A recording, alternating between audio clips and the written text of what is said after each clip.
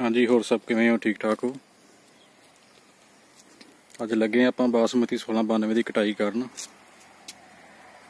ਪੱਕ ਕੇ ਤਿਆਰ ਹੋ ਚੁੱਕੀ ਹੈ ਪੂਰੀ।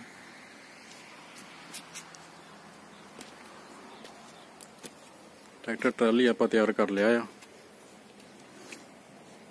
ਬਸ ਮਸ਼ੀਨ ਆਉਣ ਵਾਲੀ ਆ, ਕੰਬਾਈਨ ਆਏਗੀ ਤੇ ਫਿਰ ਵਢਾਉਣੇ ਸ਼ੁਰੂ ਕਰਦੇ ਆ। ਚੈਨਲ ਨੂੰ ਸਾਰੇ ਜਣੇ ਸਬਸਕ੍ਰਾਈਬ ਕਰ ਲਿਓ। ਵੱਢ ਕੇ ਤੁਹਾਨੂੰ ਦੱਸਦੇ ਹਾਂ ਸਾਰਾ। ਕੀ ਝਾੜ ਨਿਕਲਿਆ ਕੀ ਰੇਟ ਲੱਗਾ ਇਹਦਾ।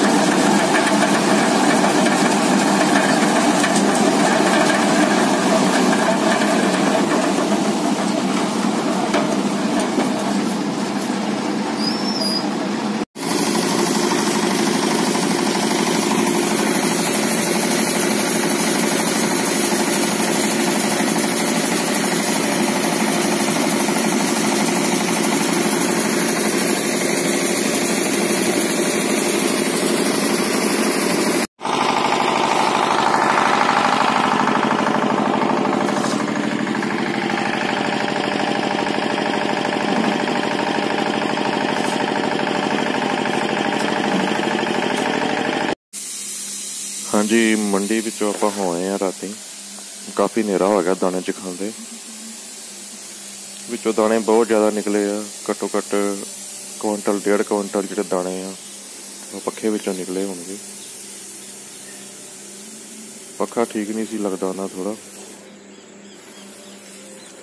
ਬਾਕੀ ਝਾੜ ਇਹਦਾ 16 92 ਦਾ ਅ, 23 ਕੁਇੰਟਲ ਦੇ ਹਿਸਾਬ ਨਾਲ ਰਿਹਾ ਹੁਣ। ਤੇ ਜਿਹੜਾ ਰੇਟ ਲੱਗਾ ਹੈ ਇਹਦਾ 3200 ਰੁਪਿਆ ਰੇਟ ਲੱਗਾ ਸੀ ਇਹਦਾ। ਇਹ ਸਾਰੇ ਦਾਣੇ ਪੱਖੇ ਵਿੱਚੋਂ ਨਿਕਲ ਰਹੇ ਸੀ। ਆਪਾਂ ਕਰ ਲੈ ਆਂਦੇ ਫਿਰ ਚੈਨਲ ਨੂੰ ਸਾਰੇ ਜਣੇ ਸਬਸਕ੍ਰਾਈਬ ਕਰ ਲਿਓ, ਤੁਹਾਡੇ ਸਪੋਰਟ ਦੀ ਲੋੜ ਆ। ਧੰਨਵਾਦ ਸਾਰਿਆਂ ਦਾ ਵੀਡੀਓ ਦੇਖਣ ਲਈ।